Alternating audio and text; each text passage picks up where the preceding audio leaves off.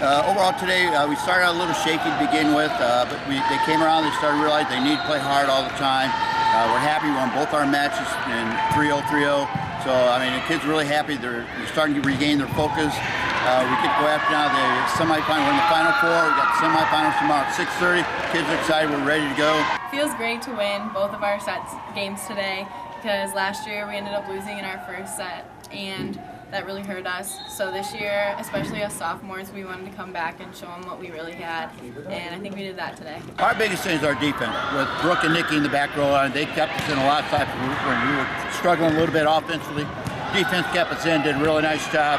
In the second set, excuse me, in the second match, uh, Ashley Pine set up really well and controlled the ball in net.